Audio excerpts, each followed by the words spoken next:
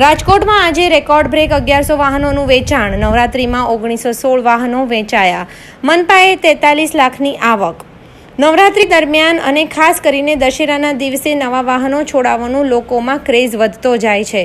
દશેરાના દિવસે વાહન છોડાવવાથી સારું મુહૂર્ત સચવાતું હોવાની લોકવાયકાના કારણે દર વર્ષે દશેરાના દિવસે મોટી સંખ્યામાં વાહનો વેચાતા હોય છે. જેમાં આજ રોજ રાજકોટમાં રેકોર્ડ બ્રેક અગિયારસોથી વધુ વાહનોનું વેચાણ થશે. જેના થકી મહાનગરપાલિકાને કરોડો રૂપિયાની આવક થવાની છે. રાજકોટમાં નવા વાહનો ઉપર મહાનગરપાલિકા ટેક્સ વસૂલ કરે છે.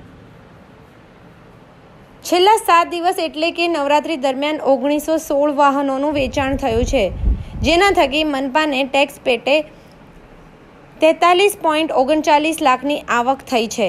આજે દશેરાના દિવસે સૌથી વધુ અગિયારસો વાહનોનું વેચાણ થશે તેમ ટેક્સ વિભાગે જણાવ્યું હતું.